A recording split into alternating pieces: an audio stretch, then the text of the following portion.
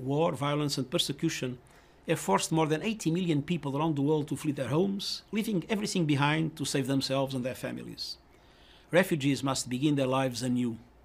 But for so many, the pandemic has wiped out their livelihoods, led to stigmatization and vilification, and exposed them disproportionately to the virus. At the same time, refugees once again demonstrated their invaluable contribution to their adoptive societies as essential and frontline workers.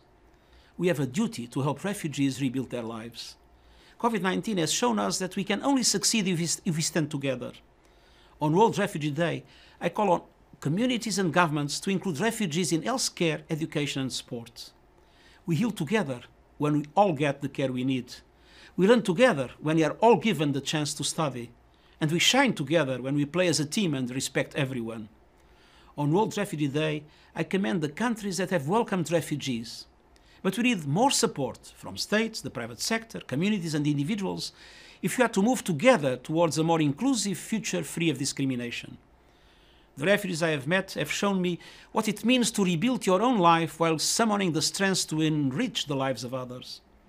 As High Commissioner for refugees for 10 years, I was inspired by their courage, resilience, and determination. I thank refugees and displaced persons across the world and reiterate my personal admiration for what they have taught us all about the power of hope and healing. This World Refugee Day and every day, we stand together with refugees.